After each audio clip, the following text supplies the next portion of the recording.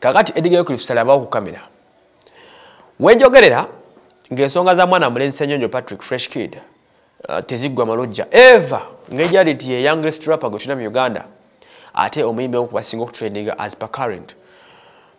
Tosobola kukola story natabaamu at least buli kanaku abaako n'ekifuluma ne waba akolodde bukolozi wabawo ekyenjawulo ekimwogerwako nti bannange fresh kid yakolodde.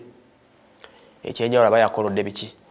Kakati fresh kid oluvannyuma kubanga yawandiisibwa ku ssomero alya kps gyagenda okusomera uh, by paleria ekyo mwakimanya. Uh, olunaku lweggulo uh, enaku uh, twalaba minisita ng'avuddeyo okubako byannyonnyola ku fresh kid ono. Minisita neyesudiya n'atugamba nti amaze okulwa n'olutalo lwa fresh kid okusobola okuba nga agenda kusoma nkaddamu. Minisita yesudiiza n'atugamba nti kaamaze olutalo lwa fresh kid okuba nga agenda ku ssomero ke kaseera akwasaganye ku kumutereeza mu nsonga z'ebyeddiini. Twejjukanyemu akatono.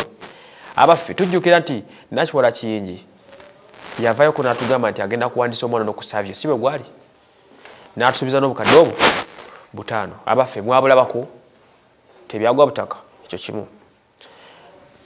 Lupaleri avuddeyo n'agamba nti omwana kamuwe ate kati nakiwala emukwekutyera you know.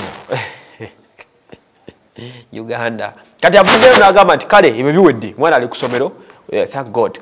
Kati yessaawa nfaafagane ku kyeddiini n'atugamba nti yayogeddeko ne saabasumba saabasumba n'amwa fatha mulamba fatha luzindana akwasaganye ensonga za fresh kid. Mbubonga bo baminisita n'abakulu b'eggwanga lino beetaaga nnyo generation y'abaana b'eddiini era n'agamba nti omwana talina ddiini tafugika abeera controllable naye abaffe twebuuze nakiwala kingi of all children in the country fresh kid yatalina ddiini ekagolabyeyo abaana bangi beetaaga spiritual guidance.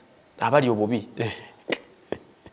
fresh kid. Noba fresh kid. Bepozi ne mu bible kigambibwa nti alinawo yayongerwako because i don't know. Ayinza okwayitaga spiritual guidance. Naye abaana bameka bali ku kkubo abafuwa enjaga abavadde ku mulamwa abeetaaga spiritual guidance. Olinakyo bakuŋŋaanya abaana bali ku kkubo abo beetaaga spiritual guidance. Oli ku fresh kid ayina newaali asobola okugenda mu kyaki buli kanaku nasasula nesente zimba kyaki gweoliko byetaga spiritual guidance? Man. Anyway tusooka okuba nga omwagaza spiritual guidance tetukiganye atukakasiza nti ye buli lwa sande ayagala fresh kid abe ngaali mu church nga gyasabira. That is nakiwala kiyingi oba obira ononya mawulire minisita and tetukuganye kale. Maama waffe omulungi. Oba ononya mawulire kiki? Naye in that ebyo nga tubiwulidde waliwo nebibadde bitandise okutankanibwa tankanibwa samweya nga bifuluma mbu mu officials bagala kujja fresh kid mu mikono gya manager mbu bamuteeke mu mikono gy'abazadde munfuna mbu. Baadde bagala kujja fresh kid ono. Bamuteeke mu mikono gy'abazadde. Nga kigambibwa mbu manager talabiridde bulungi fresh kid. You know. Kakati mwera nga baagala dde eri mu famire ya, ya tatawe abe ngaavaayo jajje nga ajja ngaasome you know. Now awo ebintu ebikwewunyisiza nti omuntu aleese omwana n'amufuula ekyenjawulo.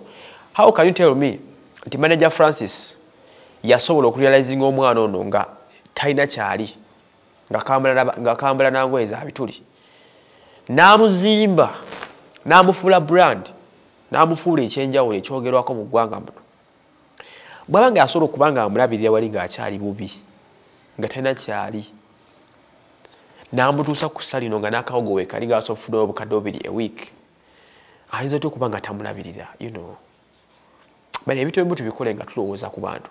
This guy has endured his time and his money n'azimba brand yo n'omwana mugezeko mumuwa ekitiibwa. Gayo ono mumutyobodde nnyo obola okuba mutono mumuyisizaamu nnyo amaaso by the way. But uh, njogeddeko ne manager katondo ku simu awo nagamba nti ekyakusomero bwe naba nsobodde awo be there nange nja kutambulako ne famire yawo n'omwana tugendeko kusomero ekya tulaba ati ebinaabaayo uganda lifestyle mukutu kwe tuwangalira mwebale nnyo okuba nga mutugoberera